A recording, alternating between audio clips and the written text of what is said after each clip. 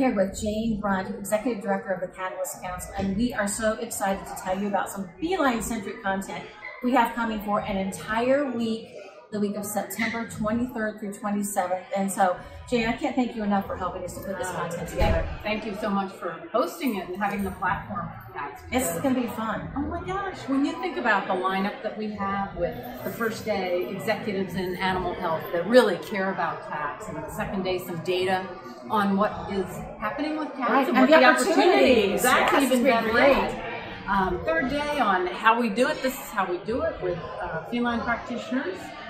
The fourth day is shelters. Yeah, shelters and, and working together with shelters in communities. And then we get to have some fun on the fifth day, on Friday.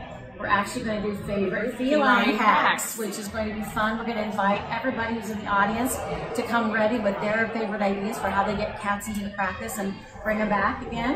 Yeah. So we hope you'll join us. It's great. It's a great time to be a cat. it really is a great time to be a cat. So uh, it is September 23rd through 27th. Monday, Tuesday, Wednesday, Thursday are going to be at 7 p.m. Central Time. We're doing 2 p.m. Central Time on Friday. All the information is on the Bridge Club's website. It's absolutely free to sign up for any of the sessions that you would like, but we do limit to 35 people. So if you're interested, you better sign up fast because spots are going to fill up. All right. Thanks, Jane. All right. Thank you. All right. See you soon. Bye. Bye.